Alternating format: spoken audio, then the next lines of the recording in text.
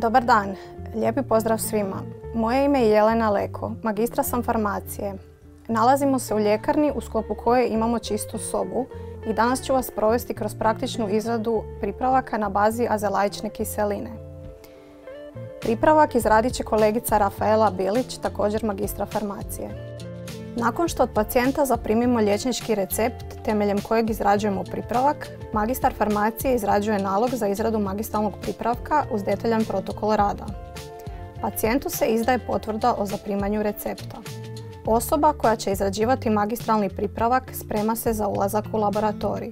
Svaka ljekarna je dužna voditi evidenciju izvršenoj provjeri pristiglih substancija kroz dnevnik analize, Temeljem zapisanih vrijednosti u dnevniku izrađuje se kontrolni list gdje bilježimo serijski broj substancija, količinu substanci te rok valjanosti.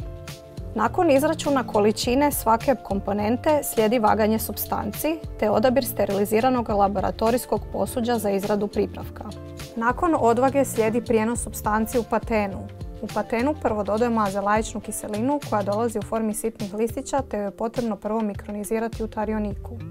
Nakon procesa mikronizacije slijedi dodavanje propilen glikola kao sredstva pomoćne tvari za otapanje aktivne komponente u procesu izrade.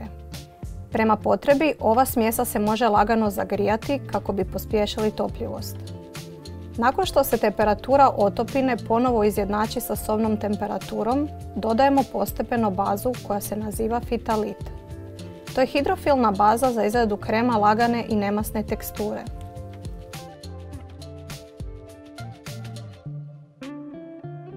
Da bismo bili sigurni da smo pripravak potpuno homogenizirali, obrađujemo ga na unguatoru.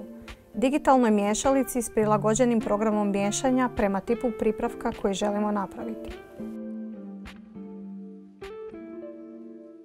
Po završetku miješanja odabiremo odgovarajuću ambalažu i aplikator za primjenu pripravka, te obilježavamo magistralni pripravak odgovarajućom signaturom koja sadrži ime i prezime pacijenta, naziv pripravka, upute za korištenje te datum izrade i rok valjanosti.